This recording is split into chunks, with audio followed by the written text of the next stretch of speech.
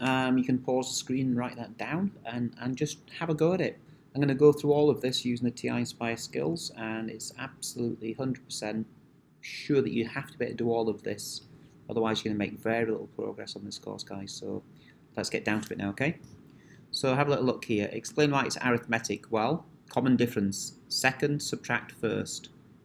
That should equal the third subtract the second and you can clearly see that it's negative 250 okay so D equals two, negative 250 so D equals negative 250, common difference, okay? And don't just, eh, don't just do it the first one, you know, calculate the second, subtract the first, the third, subtract the second. Okay, write down U of n, straight from the formula sheet. U of n equals, and I can type in here, I'm just grabbing the formula and adjusting this, U1 plus bracket n minus 1 bracket times by d. Okay, so let's let's feed in all of this now. I'll copy and paste it again. So u of 1. What is u of 1 for this? For this particular sequence, u of 1 is 2000 plus n minus 1, yes, and now replace the d with negative 250. Now, you, you, you, can all multiply this out. Look, this negative 250 multiplies with the n, and then the negative 250 multiplies with the negative 1. Okay, so the next line should be pretty simple to do. It's equal to 2000, nothing changes there, plus the n times by negative 250. So that's negative 250n. And now negative 1 times by negative 250 is plus 250. Okay? So that, that's perfect. That's exactly what we want. Now you've got a plus minus here, okay, which just turns into a minus. So we'll do that now. And then you've got 250 here, positive, and you've got 2000 here. So the final answer here is equals 2250 minus 250n. Okay, that is the way we find the nth term in this sequence. If we want to find the 20th, u20, we just type in 2250 subtract 250 times by 20. Okay, great. Which is the first term to be negative? Well, you can see it's coming down, isn't it? So at some stage we're going to have a negative number appearing here. So this is where we switch to our our graph and table of values. So I'm going to copy this, Command C, I'm going to go doc, insert, I'm going to insert a graph, I'm just going to type it in here, and I'm just going to edit it because in a graph we like to have x instead of n as the variable. Press enter. Now the fact is it doesn't matter what the graph looks like in a sense, we're going to go to control T in the table of values. Now just have a look at that. The first is 2000, the second is 1750, the third is 1500. That, that's what we've got from the original question, right? There it is, okay? Brilliant. And so we just need to go down here until we see the first negative term. Now look, the ninth term is 0, but we would need the 10th term for the first negative term, the 10th term, okay? So we'll go back to here, and we just say which is the first term to be negative. We need the n equals 10. Okay, and you might write down actually also just what is the value of u10. So we're going to write down u of 10 is actually equal to negative 250. Negative 250. Okay?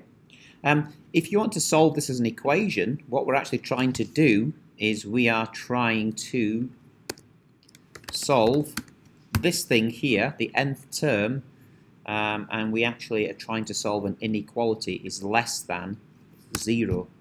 So you could try solve equals 0 first and then adjust for the inequality, okay, if you like solving equations. And then the final part is here, write down S of n. So let's write down the formula, and there's two different ways of writing the formula, okay? There is a u1 plus un version, and then there is one a version without that. So let's look at what we've got. Um, I'm going to write down the two versions, okay, and then we can decide on which is the best version to use. S of n equals, and then I'll write it down, uh, n over, I need to get into the fraction, n over 2, and brackets 2 times uh, u1 let me just grab this, just do a bit of copy and paste. 2 times u1 plus brackets n minus 1 bracket d. Okay, there's one version, 2u1 plus n minus 1t. And then there's another version which is similar. So I'll just copy this and paste it again. I'll adjust it s of over 2, but this one is u1 plus, and I'll just copy that again, u of n.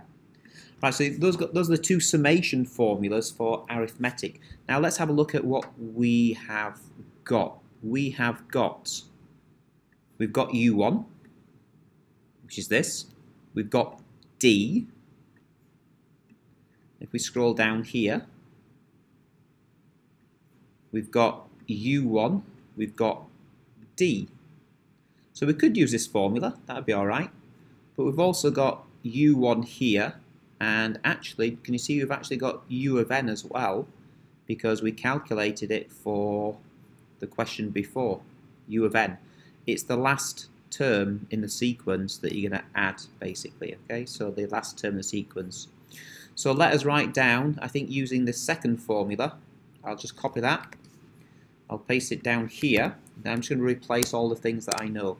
So n, I don't know. u of 1 I do know, u of 1 is 2000. u of n I do know. u of n is already written down here. So I'm going to grab this and I'm going to just paste it in place of the u of n. And there is my rule for finding the sum of n terms. Now you can leave it just like that or you can tidy it up. Can you see that these guys add together to give four 4250? And this is my rule for the sum of n terms. So let's get that into our graphing. And I will just go and edit this. That's a shortcut for editing it. And I can just go ahead and change the x here and the x here.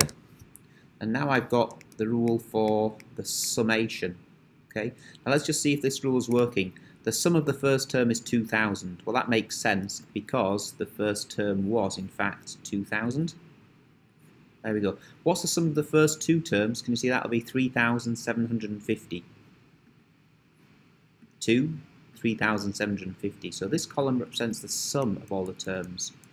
And as you go along, you can see the sum increases, then decreases, and look, we need 18 terms until we get a negative sum. Okay. Let's go back to here. We then can see that for our sum formula, we're actually trying to solve, for those that like um, algebra equations, we're actually trying to solve the following inequality. This thing here is less than 0. So you can go ahead and try and solve for equals 0 and then make an adjustment. And we said the answer there was n equals, should we just have a look at it again? n equals 18. Alright, now what if we use the other formula? Because some people are a bit confused about which formula to use. So let's just write down this formula. Let's go down to here. Okay, 2 times by u of 1. Well, u of 1 we said was, oh, let's just change that. u of 1 we said was 2000. 2000 and d was negative 250. Now the cool thing is here, we don't actually need to go and expand and tidy up. I'm just going to copy this.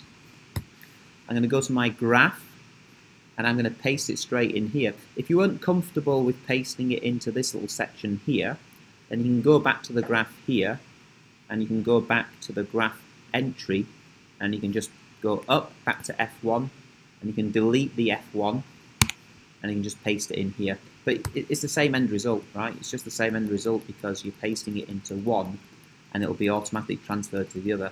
But what you do have to do is see where the n's are and change them to x's. So maybe I'm going to do Control T to turn off the table of values and I'm going to go back up here and adjust this guy here. Um, let's just see, is that the right one? Okay, so we need this guy here copied. I'll go up to here. I'm going to go back up to F1 and I'm going to delete the old F1 and paste in this guy. And don't forget adjust to make it X because the graph likes to have X as the input. And again, the graph doesn't matter so much. We go to Control t. Oh, and look, we got the same end results. Even though the format of that formula is very different, the first is 2,000, the sum of the first two is 3,750, the sum of the first three. And if we go down, we should get the same answer. It takes us to 18 terms to get to a negative sum. All right, I hope that helps. You need to be super skilled with your GDC. Let me go right back to the beginning. And so that was the sequence that we started with. Um, once you've watched this video, go right back to the start. Pause after a few seconds when you see all the questions on the screen. And then you've got to try the whole question again uh, by yourself. And then press play again to see if you got the right answers.